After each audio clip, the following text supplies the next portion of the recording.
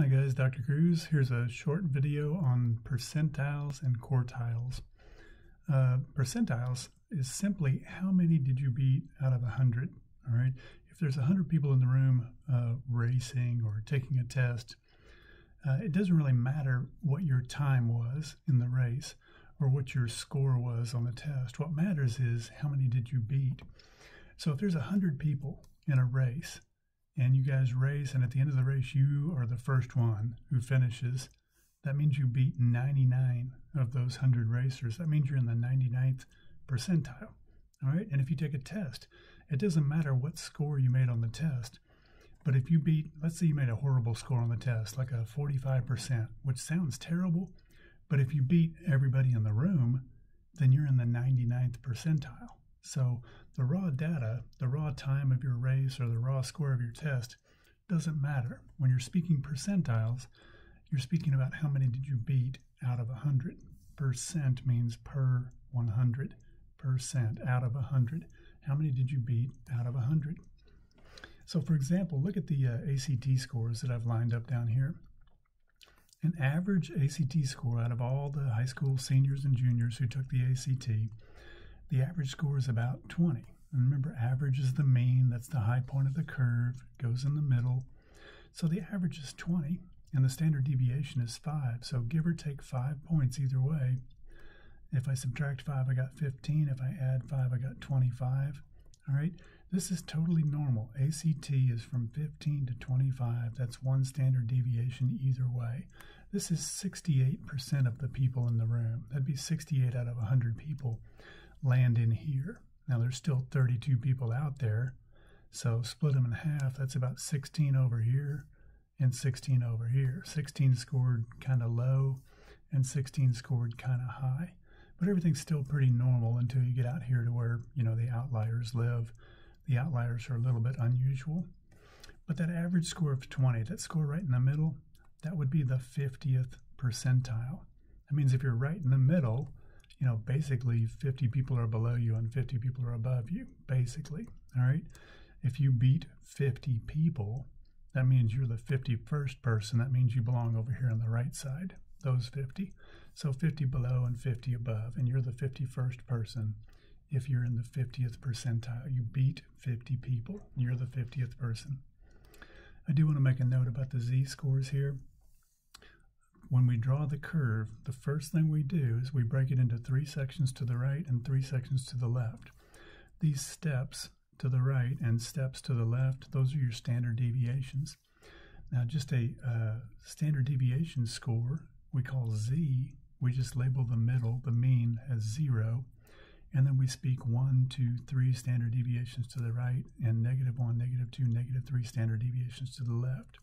So if we're using these 0, 1, 2, 3 numbers, we're speaking in, you know, I call it Z language. We're speaking Z. And if we're speaking with the raw data, like the ACT scores of 10, 15, 20, 25, those scores down there, that's the raw data. We call those X. All right? So your 0, 1, 2, 3 numbers, those are Z numbers. And your raw data, whatever goes with the story that you're talking about or the measurements that you took, that raw data is called X. Okay, next I want to talk about uh, quartiles, and it's probably easiest if we think about a basketball game. A basketball game has four quarters, so there's end of the first quarter, end of the second quarter, that's halftime, end of the third quarter, and end of the fourth quarter. So it's broken into four parts. If we take data, you know, any set of values that we're measuring, we can break that data into four parts. We can start with the lowest value in our data set and go all the way up to the highest data value in our data set, the max, and everything in between, we can split that into four pieces, into four quarters, into four quartiles. All right. This is the first quartile, this is the second quartile, third quartile, and fourth quartile. So the first quartile ends right here. That's like the end of the first quarter in basketball. And the second quartile ends right here. That's the end of the second quartile. That's halftime in basketball. End of the third quarter, third quartile. End of the fourth quarter, it is the fourth quartile. We usually just call it the max. And back here at the end of the second quartile, which was halftime in the basketball game, we call that the median instead of Q2. All right, so I can break up any set of data. If I line it up from low to high, from the lowest value up to the highest value, I can break that data into four pieces. Now, right in the middle, that's going to be our 50th percentile. That's like you're in a race and you beat 50 people. So you beat these 50 down here, and there's still, you know, 49 above you. 49 and yourself make the 50 up here. So right in the middle is the 50th percentile. Uh, if we look at the first quarter, here's the end of the first quartile. We call this the lower quartile. We call this the upper quartile. Well, this is the 25th percentile. If I go from the lowest score to this score, that's the lowest quarter of the data. This is the 25th percentile. If you scored right here, you beat 25 of the 100 people in the room. And as we move along, this is the 50th percentile. If you scored here, you beat 50 people in the room. And if you scored here, you're in the at the end of the third quartile, you're in the 75th percentile. You beat 75 people out of 100. All right? Okay. So next, let me just give you a little uh, easy set of data values. All right, and we'll just calculate these quartiles by hand. So I have 1, 2, 3, 4, 5, 6, 7, 8, 9, 10, 11, 12 values here, lined up from low, which we call minimum, all the way up to high, which we call maximum. Now, if I look at all these 12 values and I have them lined up from high to low, let's go look for the middle first, that median number. So I count my way in from the right and I count in from the left. And right here's the middle where this red line is. So if it's a tie for middle, you just add them up and divide by 2. So the average of 12 and 13 is 12.5. That's the end of my second quartile. That's like halftime in the basketball game. We call that the median. Now to find the other two, I'm going to, this line right here breaks it into the lower half of the data and the upper half of the data. Well, you just take each of those halves and you break them in half again. So I want to look at this lower half of data and I want to find the middle of the lower half of data. It's kind of like you're finding the median again. You're finding the median of the bottom half. So I count in from the right and I count in from the left and I have a tie right here, but 11 plus 11 divided by 2 is still 11. So the end of the first quartile is the number 11.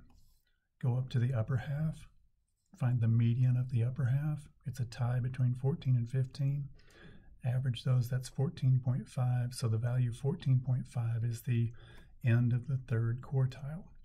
All right, so given a set of data values, find the middle, the median, then find the median of the bottom half and find the median of the top half. All right, you're just kind of finding the middle three different times. Find the middle, find the middle of the bottom half, find the middle of the top half, and you have your quartiles. Okay, now I just want to go ahead and graph a box and whisker plot and see how my box and whisker for this data lines up to a fairly normal looking box and whisker plot. If your data is nice and symmetrical, your box will look about the same size and your two whiskers going out on the ends will look to be about the same size if everything's nice and symmetrical. So let's see if our box and whisker for our data here winds up looking like a symmetrical box and whisker plot. First thing we need is just like a number line or think of it as a ruler just for reference so we know where to place these dots that we calculated, this 10, 11, 12.5, 14.5, and 22. I want to place them, you know, in the appropriate spot. So I need a ruler first.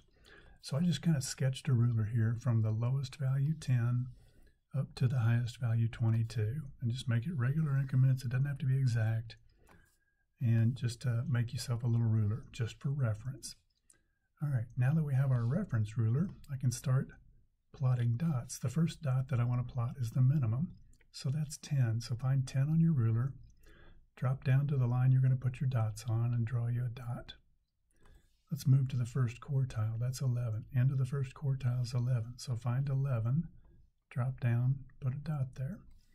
Find the median, the end of the second quartile, that's 12.5. So that's halfway between 12 and 13. Drop down, draw a dot. 14.5 is between 14 and 15. And then finally, the max is 22. That's way out here. Drop down and put a dot. You connect those dots with a line and you draw a box around the middle two quartiles. Remember, it's broken into four pieces. Here's the first piece, second piece, third piece, and the fourth piece is really long. Well, those middle two pieces, those middle two quartiles, that's what you draw the box around. And we like to draw a line down the middle here where the median is. That's the end of the second quarter. So this is the minimum, end of the first quarter, end of the second quarter, end of the third quarter, end of the fourth quarter. And once you draw your box and whisker, you can see that it doesn't look like a symmetrical box and whisker at all. See, my whiskers are not the same size. I have this one long whisker out to the right. That tells me I have an outlier. That's this guy right here. 22 is kind of an outlier. When our median number was like 12 or 13, but then we have a 22 out here, that's way out there kind of pulling our data to the right. It's kind of skewing our data to the right. So the good thing about a box and whisker plot, if you draw it, the, the length of the whiskers is kind of a clue or kind of a signal that maybe you have an outlier that is going to screw up your mean, median, and mode. Okay, on the calculator, I'm going to show you how to get your quartiles on the calculator. You just go to Stat, and I want to edit my table. I want to put these values up here in my table. So choose Edit. Now I've already cheated and put my values in the table, 10 all the way down to, whoops, too far, all the way down to 22. So I've put all my values in the table. Once you do that, you start over at Stat, you arrow to the right to Calculate, and you want option number one, one variable statistics. That's asking which list you want to work off of. I put all my data into list one. If you want to use another list, there's list one, list two, list three in blue. That's the second function of your number buttons. But I'm fine with list one. That's where I put my data. We don't mess with frequency list and we just tell it to calculate. And there's our X bar, there's our average, there's our uh, number of values, 12. There's our standard deviation, 3.34. And if I scroll down, I have my quartiles. I have 12 values. The lowest value is 10. The highest value is 22. The middle value is 12.5. And then quartile 1 ends at 11 and quartile 3 ends at 14.5. Those are those numbers we calculated by hand up there. I do need to show you the uh, interquartile range, uh, abbreviated IQR. It's basically just the width of the box from here to here. How wide is your box? So from the quartile 1 number to the quartile 3 number. So just take quartile 3 minus quartile 1, and that tells you how wide the box is, what the range is between those two numbers.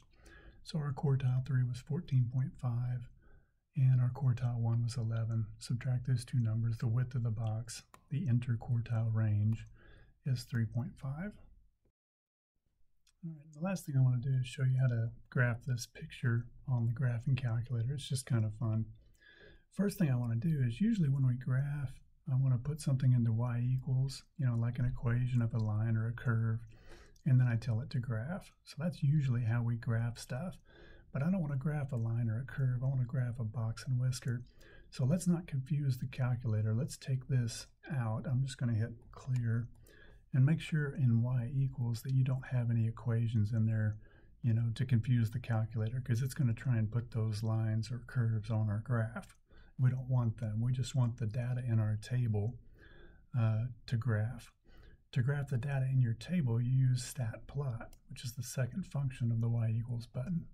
So if I go to stat plot, all right, I'm going to plot in number one here, and I need to turn it on. All right, this is my first graph. Well, it's actually my only graph. So I'm in plot one, and it's selected off. I want to go ahead and turn it on. So I'm going to go over to on and select it. So now my I always remember my dots are on because dots rhymes with plots. So if you want to plot a dot graph or a bar graph or a box and whisker plot, well, you have to tell it what type of graph you want to make from the data in your table. I like this box and whisker right here, so I'm going to arrow over to it. Whoops, down to type, arrow over. I'm going to choose that box and whisker right there. All right, I don't need to mess with anything else. Yes, the data is in list one. Don't worry about the frequency. Now I would go ahead and press graph here, but I'm not quite sure where my picture is going to land. I want it to land in this window right here but it might be over here, it might be up there, over there, it might be completely off the window, it might be completely, completely off the screen. So let's go into our window and let's set it. All right, whoops, I missed something here. Um, yep, quit, quit, quit. I'm not sure what I did there. I hit something it didn't like. So we're in here, we've selected what we want. Let's go to window. There we go. I don't know what I pressed the first time. Let's go to window and the X values are from low to high. They want your X values from minimum to maximum. And they're talking about these values right here. Your x-axis goes left to right. So I'm talking about a low x of 10 up to a high x of 22.